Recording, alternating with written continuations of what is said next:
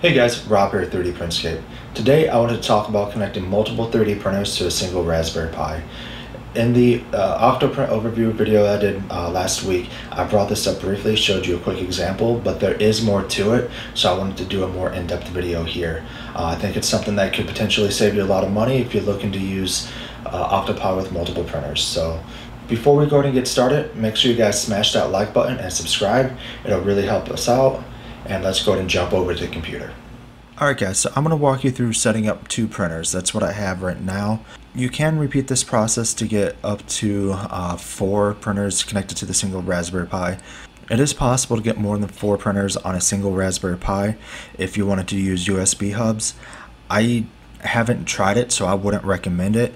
Uh, four is typically more than enough, and if you have more than four 3D printers in your house, you're probably doing something else anyway. If you feel differently, please leave a comment below. I would love to hear your reasoning for it. Let's go ahead and get started. So right now, I am assuming that you have your first printer set up. So I've got my Ender 3 Pro, and I've got both printers connected to the Raspberry Pi now. So you can see I've got two connections here. The first thing we're going to want to do is figure out which one of these go to the Ender 3 Pro. So if you just leave it at auto and auto, there's no guarantee that it's going to connect to your Ender 3 or whatever profile you have selected. You have to have that mapping. Uh, once you have the mapping, if you really wanted to, you could spend a little time and SSH into the Raspberry Pi and create new serial port mappings that have a different name. So you can create an Ender 3 Pro mapping as an example but you'd have to map it back to a USB port and all of that anyway. So I'm not sure if it buys you enough to justify spending the time. If you have four printers, it might be worth doing, but for two, uh, to me personally, it's not worth it. If you'd like me to do a video on how to actually do that, uh, leave a comment below and I can do that for you. Alright, so let's go ahead and figure out which one is which. So let's just select this first one, the ACM0, and hit connect and leave your rates at auto and then if we go over to terminal we should see it trying to connect here.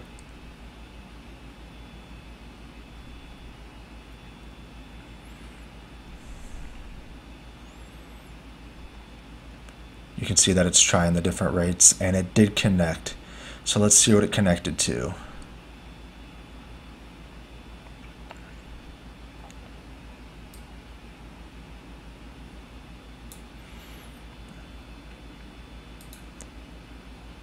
Alright, so here is the first actual receive from the printer. Uh, you can see if you actually just read through it that it is connecting to my TAZ 6 here. So now we know going forward that this ACM0 is my TAZ 6. So we can just go ahead and make a note of that. And we're going to have to create a profile for that one as well, which I'll do here in a second. So now if we disconnect, just switch this back to auto, and then go to the next one, which is USB 0, uh, we should connect to the Ender 3.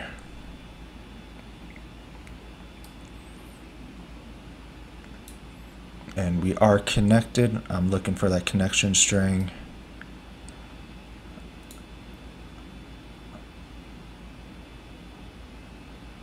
Alright, so here's our receive and then machine type Ender 3 Pro. Alright, so we now know that uh, USB 0 is going to be our Ender 3 Pro. Alright, so let's go ahead and add in that other printer now. So just go up to settings there, go to printer profiles and add profile. Uh, just do TAZ 6. And then you would have to know your print bed and volume. You can get that from Cura. I cover this in my other videos um, which I'll link in the description below. But I'll go ahead and show you where you can get that. Um, so this is a version of Cura that's specific for your TAZ. Um, it's a little different than the standard one, but a lot of the settings are the same, especially if we're looking at the printer itself. So if we go to Settings, Printer, and then Manage Printers, we can see the printer that we're looking at here. If we go to Machine Settings, we can actually get the settings that we're looking for. So 280, 280, and 250. So let's go ahead and add that over here.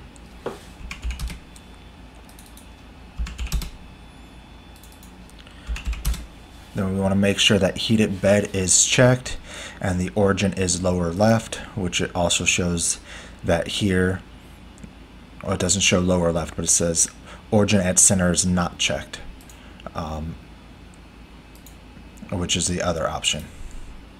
Alright, so that covers everything here. Jumping over to axis, uh, I will just leave this as default. It's the maximum speed that can be used when you're using the manual controls. You can change it if you want to set a cap, but I'll typically control that when actually using the controls, so uh, the defaults have been fine for me.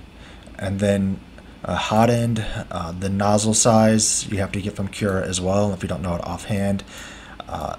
Uh, the TAZ is 0.05, which I always thought was kind of odd, but that's what it is. So set this to 0.5.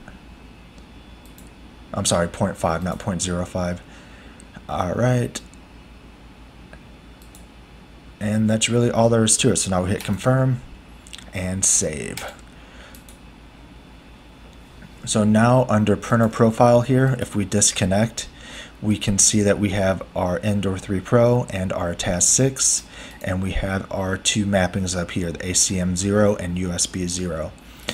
So, alright, so now if we wanted to connect to the TAZ 6, you can do, um, just go and select ACM 0, make sure your rate's at auto, and then select TAZ 6 so you have your uh, printer profile, and then hit connect then if we watch this, we should see it connecting.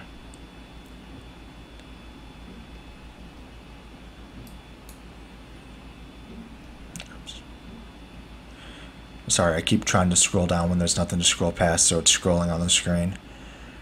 Uh, it should take just a second here to connect.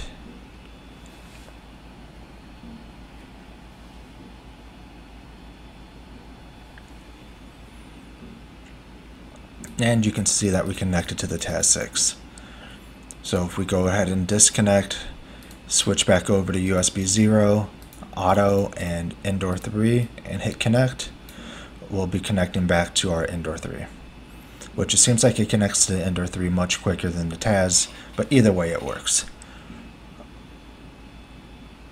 Alright, so now you can have an auto connect on startup. You can select one of them and have it auto connect if you want it to. Uh, that's worked okay for me. Um, that's really a preference. Typically, I don't do that. I'll just connect to the one I'm wanting to. Uh, the save connection settings, it always wipes it anytime I'm changing these settings or going back and forth.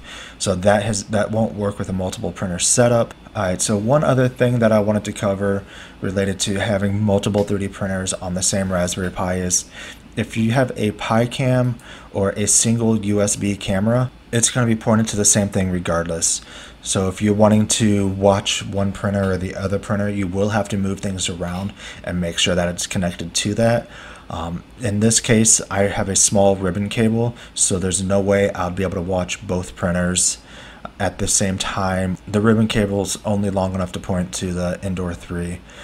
I could get a longer USB cord to move the Raspberry Pi around so that I could watch both of them at the same time if I wanted to. It is an option, but it's a limitation of doing it this way. Um, you would have the same limitation if you were to break this out into four separate instances on the same Raspberry Pi as well, which I'll cover here in a second. Really, the only way to get around this would be having multiple cameras or multiple instances. Alright, so that covers um, connecting two printers at the same time. Uh, the third and fourth printer would be the same. You will end up having uh, four connection, three or four connections here, and then your three or four profiles down here that you will have to go between. I guess if you have four printers, it can get a little confusing uh, selecting the right profile and the right port. So if that is the case, I would map them all out somewhere and then write it down so you have it for reference. The other thing you can do in this case is um, remap the serial ports with a different name, which I mentioned earlier. It does take a bit of work up front to do it, uh, so I don't know if it's worth it or not. And I don't want to do a video on it if nobody's really interested in it. But if you are interested, please leave a comment below and I'll get that added to the backlog. So what that would actually look like is you would have a under serial port Ender 3 Pro you would select and then your printer profile select Ender 3 Pro and then your rate always select auto let it automatically calculate it or find it so it doesn't really save you any mouse clicks but it will make it a little bit easier if you're if you forget which port is what, uh, you just map it based on the name. All right, so the other option we have is actually having four separate instances of Octopi installed on the Raspberry Pi. Uh, I'm not a huge fan of this. To me personally, there's a lot of extra overhead involved. There's a lot of additional setup that's required, and um, it would only have one printer in each one, so you don't have to do the mapping between them, but you would have to change the color here and specify the printer name up here. Um, so you know which one you're on. But when you're connecting, you'd also have to specify a port. So it'd be like octopi 2 dot local colon um, I don't know 5000 as an example and for printer 1 then 5002 for printer 2 so you would have to know that mapping in order to actually connect um, I have a couple friends who have used this and then have reverted back. Uh, to me personally, I've never set it up because I didn't think it was worth the time. The only thing it'll really buy you is uh, it allows you to control different plugins on each instance. So if you had a plugin you're trying to use with one printer that can potentially be experimental or not compatible with others and you didn't want to take that chance, you could split it out I guess really it's a preference thing. If you are interested in seeing that, leave a comment below. I can set up a video just splitting this out into two instances with these two printers, to kind of show you what it looks like. I would revert it back, but, but if you're interested, I want to make sure to give you that walkthrough. So just let me know below. Alright, so that really covers everything related to uh, setting up multiple printers with Octoprint. It's not difficult and it does provide a lot of advantages. Uh, especially if you only have one Raspberry Pi and you're not looking to have dedicated ones for each printer. Uh, if I was actually looking to split these out into separate instances, to be honest, at that point, I would probably just buy separate Raspberry Pis. I would go with the Pi 3 Plus instead of the 4, save a little bit of money there, and, and just get two of them. Uh, but that's, again, my opinion. If you think differently, please leave a comment below. I would love to get your feedback. Also, if you have any questions on this process or need help actually setting it up, leave a comment below and I'll try to help you out as much as I can. And again, make sure you guys smash that like button and subscribe. It'll really help us out. Alright guys, that covers how to connect multiple 3D printers to your Raspberry Pi. Um, with the standard setup, you can connect four printers. Uh, you can either use a single uh, URL for all of them and then map it in between, or you can use four separate URLs with different port mappings, um, depending upon whatever's easier for you. I personally prefer the single URL not have to worry about the ports and then have and then selecting the printer that I'm going to be connecting to. Um, it gives you some simplicity advantages and there's really not that much of an advantage of splitting them out. The only thing is you would have the one printer on each of them so you won't have to select the printer and you can set up different plugins for that instance. Uh, again, to me, it's not worth it. Uh, using a single instance is the way I would go. If you feel differently, please leave a comment below. I'd love to hear your feedback. Make sure you guys smash that like button and subscribe, and I'll talk to you next time. Thanks.